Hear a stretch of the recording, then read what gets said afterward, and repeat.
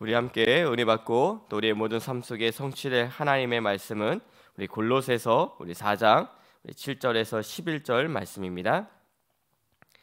우리 골로새서 우리 4장 7절에서 우리 11절 말씀입니다. 우리 골로새서 우리 4장 7절에서 11절 말씀 제가 봉독해 드리도록 하겠습니다. 두기고가 내 사정을 다 너에게 알려 주리니 그는 사람 받는 현재요 신신한 일꾼이요 주 안에서 함께 종이 된 자니라. 내가 그를 특별히 너에게 보내는 것은 너희로 우리 사정을 알게 하고 너희 마음을 위로 위로하게 하려 함이라.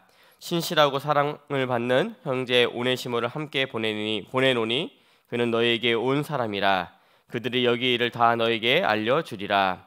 나와 함께 갇힌 아리스다고와 바나바의 생질 마가와 이 마가에 대하여 너희가 명을 받았음에 그를 이르, 이르거든 영접하라. 또 유수도라 하는 예수도 너희에게 문안하느니라. 그들은 할레파이나 이들만은 하나님의 나라를 위하여 함께 역사하는 자들이니 이는 사람들은 나의 위로가 되었느니라. 아멘. 오늘 이 말씀 가지고 우리 전도자의 우리 제자들이라는 제목으로 함께 말씀을 보도록 하겠습니다. 오늘 본문 말씀과 또 그의 그 뒤를 보면 바울이 함께 사역을 했던 제자의 이름들이 나오고 있습니다. 한 일곱 명 정도의 제자들의 이름이 나오고 있는데 이 제자들은 로마서 16장에 우리 제자들과 비교해서 볼 때는 화려하게 소개된 것은 아니지만 바울이 감옥에서 친필로 골로새 교회 편지를 쓰면서 정말로 자신의 마음 속에 있는 제자들의 이름을 기록했다고 생각합니다. 왜냐하면 이 골로새서는 노마서보다 5년 후에 기록된 것이고 그 5년 동안 험남한 선교 이 사역이 사역 속에 있었는데 그 속에서 함께 사역하면서 큰 힘과 위로가 되었던 제자들이었을 것입니다. 우리 성도님들도 오늘 함께 말씀을 보면서 전도자의 제자로서 그리고 그리스도의 제자로서 어떠한 삶을 살고 또 어떠한 영적인 목표를 두고 응답받아야 할지를 말씀으로 확인하는 우리 시간 되시기를 예수님의 이름으로 축복합니다. 첫 번째는 전도자의 제자들입니다. 첫 번째, 전도자의 제자들입니다. 오늘 본문 말씀 우리 7절과 8절을 말씀을 다시 보겠습니다. 두기고가 내 사정을 다 너에게 알려주리니 그는 사랑받는 현재요 신실한 일꾼이요 주 안에서 함께 정리된 자니, 자니라 내가 그를 특별히 너에게 보내는 것은 너희로 우리 사정을 알게 하고 너희 마음을 위로하게 하려 함이라. 아멘. 오늘 전도자 바울이 처음으로 언급하고 있는 제자의 이름은 두기고입니다. 두기고는 소통의 메이커였습니다. 그래서 바울이 말하기를 내 사정과 우리의 사정을 알게 할 것이고 그것이 너희 마음의 위로가 될 것이라고 말하고 있습니다. 어떤 사람은 입을 열어서 말만 하면 근심과 걱정과 염려를 몰고 오는 사람이 있는데 두기고는 다른 사람으로 하여금 마음의 위로, 위로를 줄 정도로 중요한 영적 사실을 전달할 수 있는 제자였다는 것입니다. 우리가 세상을 살면서 수없이 일어나는 문제와 사건과 만남 속에서 어떤 사람은 현실과 사실을 보면서 결국 사단에게 속는 인생을 살지만 이 그리스도의 제자는 영적인 사실을 보면서 그 속에서 하나님이 숨겨놓으신 계획을 발견하면서 다른 사람에게 그 하나님의 계획을 전달하면서 마음의 위로를 얻도록 도와준다는 것입니다. 이렇게 바울에게 있어서 두기고는 이 영적인 사실을 보면서 하나님의 계획을 전달할 수 있는 소통의 메이커였습니다. 우리도 이렇게 소통의 메이커 속에서 응답받기 위해서는 가장 중요한 것이 하나님과의 소통입니다. 하나님과 소통이라는 것은 말씀과 소통이 되어지는 것을 말하는 것입니다. 이 말씀도 많이 많은 말씀들이 있지만 가장 중요한 것은 강단의 말씀인 것입니다. 이 강단의 말씀이란 것은 영적인 집밥을 의미합니다. 우리가 일주일을 살면서 밖에서 많은 식사를 할 수 있지만 어, 내 속과 가장 편안하게 먹을 수 있는 밥이 집밥입니다. 저도 어제 이제 새벽 기도 준비하고 장례 예배가 나가지고 어제 저녁에 우리 나영 목사님하고 같이 편의점에서 도시락을 하나 사 먹었는데 그게 속이 약간 안 좋게 만드는 그래서 느낀 게 또 느낀 게 뭐냐면 야 내 속하고 가장 맞는 것이 집밥이구나. 이게 느낀 것처럼 하나님은 우리가 강단의 말씀을 붙잡고 이 말씀을 붙잡고 하나님과 소통되어지기를 원하시는 것입니다. 이번 주 우리에게 주신 강단의 말씀이 우리가 품어야 할 마음이라는 이 말씀을 줬는데 이 말씀을 가지고 하나님과 소통하기를 원하시는 것입니다. 그리고 소통의 메이커라는 것은 이 가교 역할을 잘 하는 사람을 말하는 것입니다. 지역의 제자와 사역자는 반드시 연약한 성도들에게 교회의 강고 같은 것을 전달할 때 강고를 전달하는 것도 중요하지만 그 속에 담겨져 있는 영적인 의미와 믿음을 전달하는 것이 중요한 것입니다. 일단 연약한 성도님들은 교회에 오시면 말씀도 잘 듣지 못하지만 주보 광고도 잘 안 보십니다. 그러니까 성령의 인도를 받는 시간표를 잘 모를 수밖에 없는 것입니다. 그래서 이 소통의 메이커라는 것은 연약한 성도와 또 연약한 remnant들에게 교회 광고를 잘 전달하는 것도 중요하고 그 속에 담겨져 있는 영적인 의미와 믿음을 전달하는 것이 중요한 것입니다. 그러면서 교역자들에게는 이 연약한 사람들의 영적인 상태를 전달해 줄 때 내 생각과 내 감정을 집어넣어서 전달해 주는 것이 아니라 정확한 그 사람의 영적 상태와 사정을 전달해 주는 것이 중요한 것입니다. 왜냐하면 그 속에서 교육자는 말씀을 준비할 때 정확한 시간표를 보면서 말씀을 전할 수 있기 때문인 것입니다. 이렇게 두기고는 바울에게 있어서 소통의 메이커였습니다. 우리 성도님들도 두기고처럼 서로의 사정을 잘 알고 그 속에서 영적인 사실을 보면서 많은 사람들에게 마음의 위로를 전달해주는 우리 소통의 메이커들이 되시기를 바랍니다. 그리고 10절 말씀을 보면 바울이 나와 함께 갇힌 아리스다고라는 데, 아리스다고에 대해서 말하고 있습니다. 이 아리스다고에 대해서 아마도 우리 성도님들이 익숙한 제자의 이름이 아닐 수 있습니다. 우리가 잘 알고 있는 이 브리스와 아굴라 부부 또 식주인 가이오 장로 이렇게 유명한 제자의 이름은 아니었지만 아리스다고는 바울과 끝까지 함께한 제자였습니다. 이 아리스다고는 데살로니가 교회 제자였는데 사도행전 19장 우리 29절 말씀을 보면 에베소 지역에서 바울이 잡힐 때 함께 잡힌 제자였습니다. 많은 제자들 중에 목회자가 잡힐 때 함께 잡히지 않고 그 자리를 도망치는 제자들이 더 많이 있겠지요. 제가 대학 사역을 할 때 편안하게 이야기를 이야기 삼아서 그 만약에 목사님이 중국에 단기 선교를 갔는데 중국 공항들이 닥쳐서 잡아가게 될 때 목사님하고 함께 잡혀갈 것이냐 아니면 그 자리에서 도망칠 거냐 또 아니면 베드로처럼 저는 저 사람을 모릅니다 하고 말하면서 떠날 거, 떠나갈 것이냐 미리미리 생각해 두, 두라고 이야기한 적이 있었습니다. 왜냐하면 이러한 사건들은 미리미리 생각해 두고 마음속에 결정해 두지 않으면 그 상황이 긴박하게 돌아가기 때문에 믿음을 선택하기보다는 두려운 마음 쪽으로 결정할 수 있기 때문입니다. 그러나 바울이 오늘 말하고 있는 이 아리스다고는 바울과 함께 잡히고 또 사도행전 27장 2절 말씀 보면 노마로 가는 그 배에 바울과 함께 제수의 신분으로 갔다고 말하고 있습니다.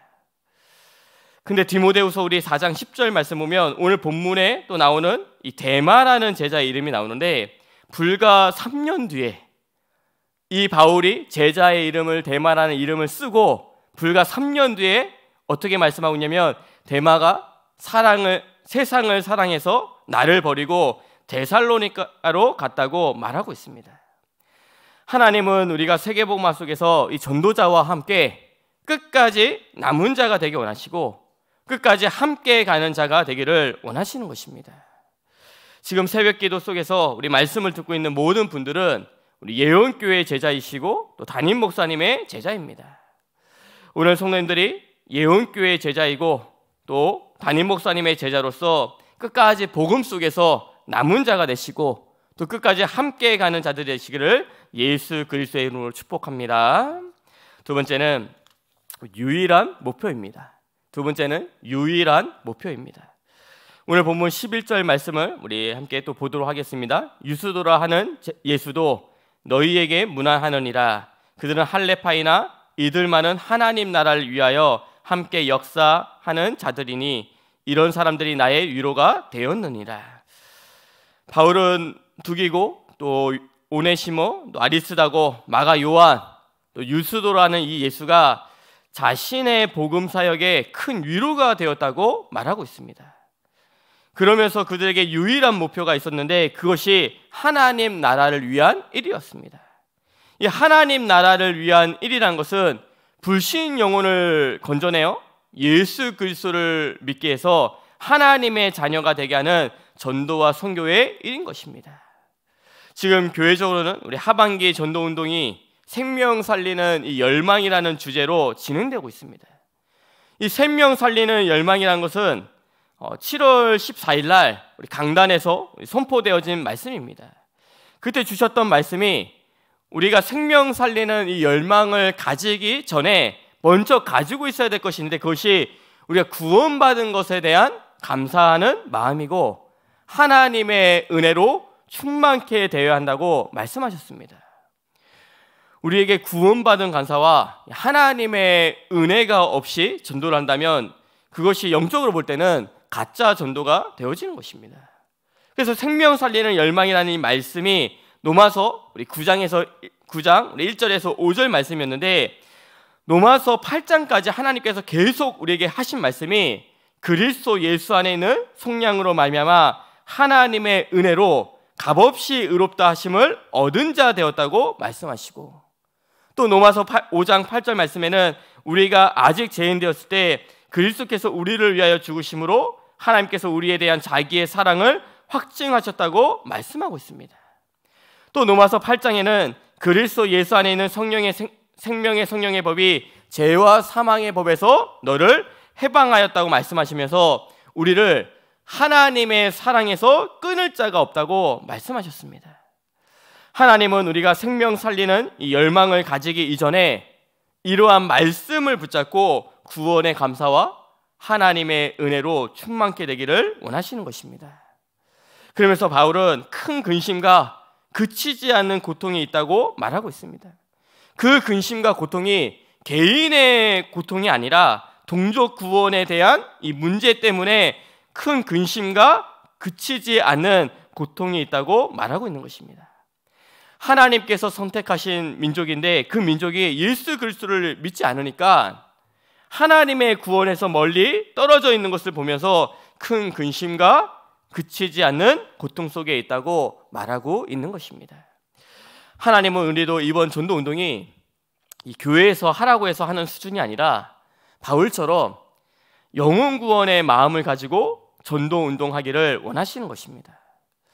잠언 24장 11절 말씀을 보면 너는 사망으로 끌려가는 자를 건져주며 사륙을 당하게 된 자를 구원하지 아니하려고 하지 말라고 말씀하고 있습니다.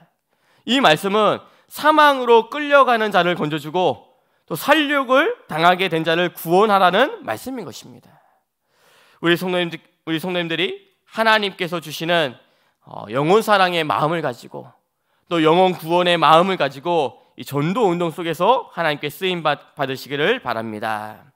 그리고 우리가 다 함께 기도할 것이 있는데 그것이 뭐냐면 11월 27일 어, 주일 예배를 놓고서 또 그날에 와서 복음을 들을 전도 대상자를 위해서 기도해야 하는 것입니다.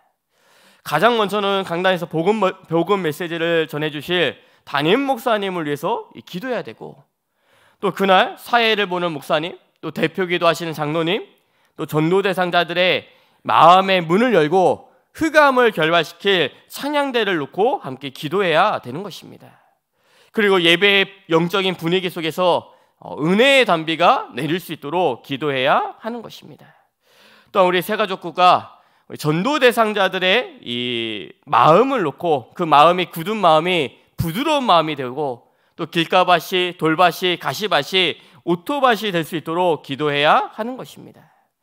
제가 지난주 수요일 날 어, 강주에 귀신 들린 여자 청년이 연결이 되어서 그 가정에 들어가게 됐는데 벌써 제가 한 세 번째 가게 됐는데 방문을 잠그고 밖으로 안 나오는 그 모습을 보면서 영적으로 느낀 것이 있습니다.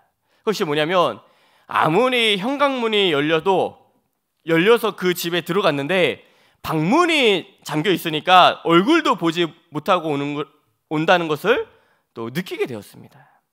우리 전도 대상자들이 이번 주에는 이런 이유 또 저런 이유 속에서 교회까지는 올 수 있습니다. 근데 마음의 문이 열리지 않으면 복음의 말씀이 들어가지 않는 것입니다. 이 상태가 결국 현관문을 열렸는데 방문이 잠겨 있는 상태인 것입니다. 우리 성도님들이 이번 돌아오는 주일 속에서 또 예배와 담임 목사님과 또 새가족국가 또 전도 대상자들이 이 마음의 문이 열릴 수 있도록 함께 중보기도 하시는 우리 성도님이시기를 바랍니다. 그래서 우리가 어, 우리도 전도자 전도자의 제자들처럼 유일한 목표인 하나님 나라를 이루는 전도와 선교 속에 쓰임 받는 이 시대의 제자들이 되시기를 예수 그리스도의 이름으로 축복합니다. 기도하겠습니다. 하나님 아버지 감사를 드립니다. 우리 성도님들이 현장에서 소통의 메이커들이 되도록 축복해 주시고 또 이 시대 세계 복음화 속에 남는 자의 응답과 전도자와 끝까지 함께 가는 자의 응답을 누리도록 축복하여 주시옵소서. 우리 하반기 전도 운동 속에 생명 살리는 열망을 가지고 하나님께 쓰임 받는 제자들 될 수 있도록 축복하여 주시옵소서. 예수 그리스도로 기도드리옵나이다. 아멘.